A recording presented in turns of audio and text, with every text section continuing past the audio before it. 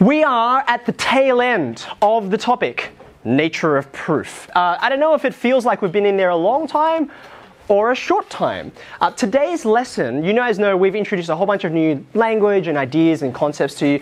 This one's going to feel probably the most, inverted commas, it's all maths, but this will feel the most familiar mathematical that you've done since the start of the year, is my expectation.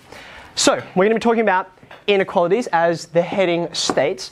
And you have to be quite cautious with these objects, right? Because they seem really familiar, but they're actually, I'm going to suggest, dangerously different in at least three key ways, all of which we'll need to keep in mind for the proofs we're going to do today. So let's have a think about each one in turn. Number one, uh, we're really good at dealing with equations, like really, really good. If you're here in this room, you're an expert at them. But when it comes to equations versus inequalities, if I handed you an equation with no like verb, no question, no keyword with it, what would you expect is the thing you need to do to that equation to finish the question? What do you think? It's like an, an equation on the board. You're like, oh, what do I do with this thing? What's the operative verb?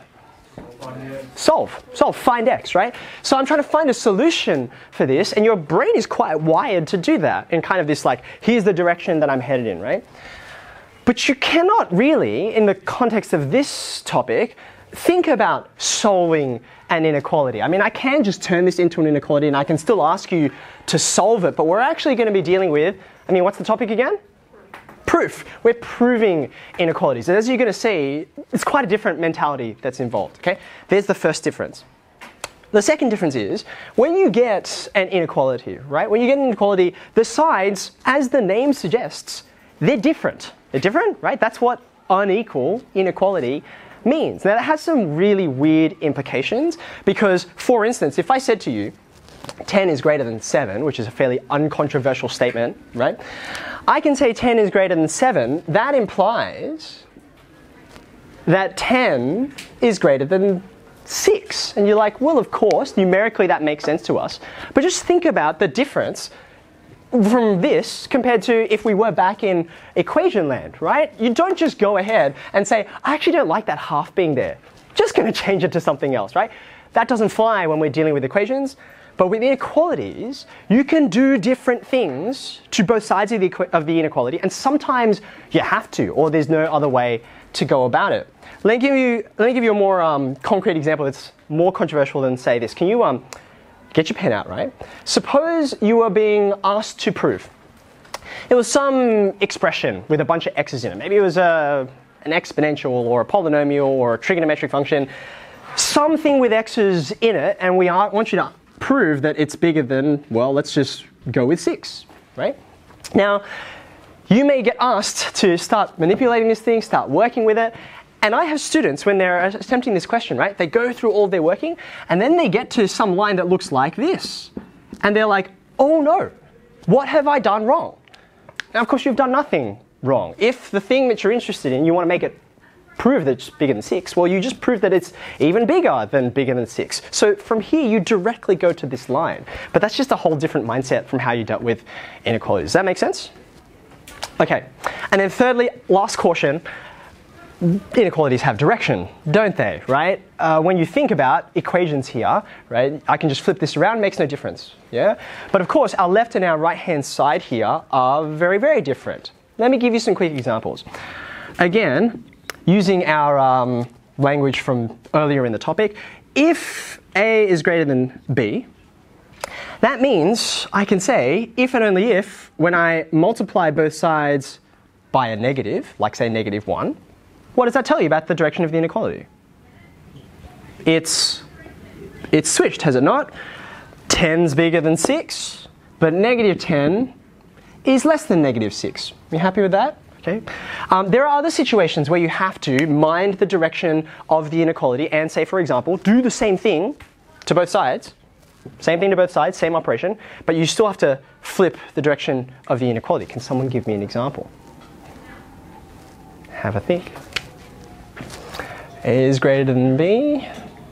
I'll give you a clue. Uh, this one's about multiplication, right? The most obvious one you're going to encounter has to do with the opposite of multiplication, with division, right?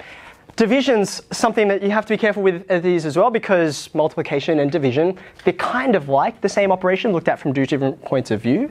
So if, for instance, I took the reciprocal of both sides, right? This is something you can do with equations, happy times, right? 1 over this should equal 2. I'll take the reciprocal of both sides, happy times, but that's not the case here. What was our example? 10 is bigger than 6. A tenth is definitely less than a sixth. Make sense? So we have to mind the fact that even when you're doing the same thing to both sides, you actually have to deal with the direction of it. Ciao. Uh, and then here, because we don't know the sign of A and B, so if we take reciprocal, actually cannot. Yeah, that's right. It gets even more confusing when you start to think about, well, what values can A and B take on? Mercifully for you guys, we are going to be thinking about positive, negative, but no complex numbers. When you think about inequalities, right, you actually can't say that a complex number is bigger in, you know, is bigger than and nothing else than another complex number. You can say their magnitudes are different, you can say their angles are different, but this is that two-dimensional nature of it, right? Which one is greater? Is this greater or is this greater? Right? So we don't worry about order when we talk about complex numbers. Everything we're about to do under this part will be in the real number world. Make sense? Okay. Under this heading, make a little subheading for me, which is strategies. What are, in my, in view of these cautions, what are the strategies we can use to prove the sets of inequalities that we're going to be provided? I've got three main ones for you. Number one, uh, we were just actually, I was just sort of flagging it, right?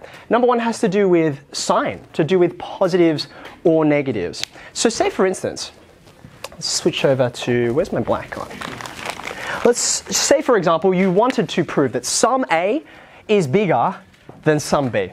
Okay, so if we're required to prove A is greater than B, then A and B could be anything. It could be a whole function, could be a number, etc.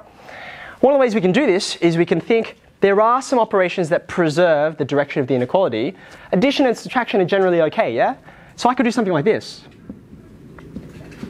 These are equivalent statements. I know I started off trying to remind you to question everything that you thought you knew, but this is fairly happy to say I think we all agree on this, right?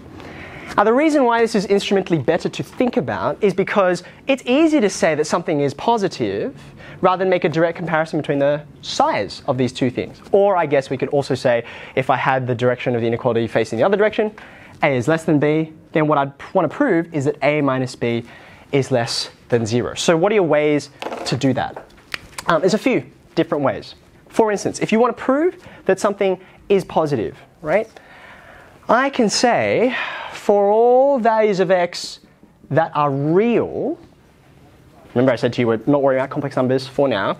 For all values of x that are real, I'm going to have x squared. I can make a statement about its sign, can't I? Right? It's positive or negative enough. Um, if it's real, can this number ever be negative? The answer is no. So we would say this is a non-negative number. It doesn't have to be positive though, because it could of course be equal to zero. zero. So we uh, include the boundary. Does that make sense? So you can say, look, if I can get some square in there, then happy times. I can prove that it's equal to or greater than zero, and then you need to deal with that equal to case, right? What other ways could we do this? Well, if I said to you, here's another strategy. If I said to you, I have two positive numbers, A and B, right? What can you tell me about the product of those two numbers? The product is also positive, right? So these imply that AB is greater than zero. So if the object that you're interested in can be stated as some kind of product, you can factorize it in some nice neat way that I look at each of the independent factors and they're both positive, then, then I'm done, right? And I'll just come back to this one over here. Sometimes you can get a 1 over A in your expression. You're like, oh, I got to here. Well, what that implies is something about its reciprocal. What's the, what can you tell me about the sign of the reciprocal of, say, a positive number? If I said this is positive, what can you tell me about its reciprocal? Yeah, it changes magnitude, but it will not change sign, right? So this is also going to be a mechanism that we can use to prove that something is positive.